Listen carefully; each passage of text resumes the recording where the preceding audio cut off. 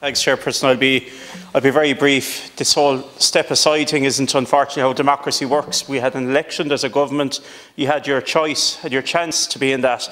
I would love to see your housing solution because it doesn't stack up and that's what commentator after commentator has costed and analysed.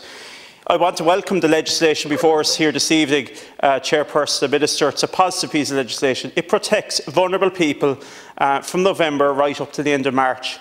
And I think it should be subject to review thereafter because what we saw during COVID is uh, those who are less off, those who are penalised paying the highest rents in our country are at the pin of their collar. That they're also at the whim of landlords. Um, and we've seen excellent landlords, but we've also seen the unscrupulous ones. I think this gives protection to people through no fault of their own uh, who are facing eviction or who are about to be evicted. There's a sunset clause, of course, in it. But it does also protect landlords because we've had people from both sides of this argument contact our offices.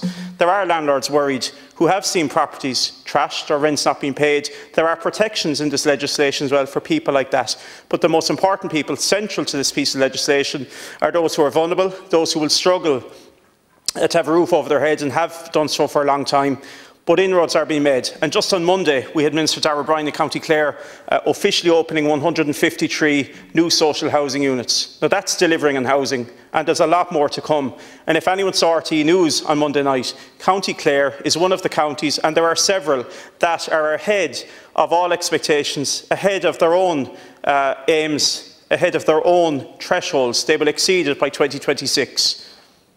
And it's not to put claps on backs, but there's a rhetoric time time again that you know, needs to be challenged. I just want to say as well that uh, in the spirit of this eviction ban, there's another group of people hugely pressed at the moment, those being small business owners, coffee shops, small retail that are facing huge uh, electricity and heating bills and overheads. And I argued earlier in the chamber here this afternoon that just like we're bringing this legislation here tonight to protect tenants, we should also put a moratorium, defer the revaluation of commercial rates for these small businesses. It is devastating for some of them in the past week in County Clare who faced 33% uh, in their commercial rates hike, that on top of electricity, gas bills, etc., etc. Budget 2023 did an awful lot to support those people, but it will be taken on the other hand if we allow these increased rates to go ahead. So it's the same spirit, it's helping people over these difficult few months. We were able to defer commercial rate hikes uh, during COVID. The same should happen now as we face this new crisis. Um, the cost of living crisis. A lot of small businesses are now facing an existential crisis of their own, and I think the sensible, prudent thing here would be to defer it. Counties are grouped, bundled together for evaluation pro processes. Clare is in with Galway, Mayo, Donegal, Dún Laoghaire, Rathdown. So people in those counties at the moment who have taken the plunge, taken the gamble and the risk, because it is a risk to enter small business, uh, they're now facing these, uh, these revaluation bills have come in 33% up to 40% of a hike on what they faced heretofore.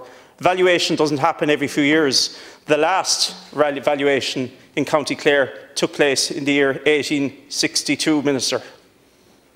So, if we haven't had to tackle it from 1862 to 2022, I think we can kick it a little bit further along the road. Back to the legislation before us tonight. It's positive, it's progressive, it has my full support and backing. And that sunset clause has to exist in things like this, but it should be subject to review. Chairperson, thank you, and thank you, Minister.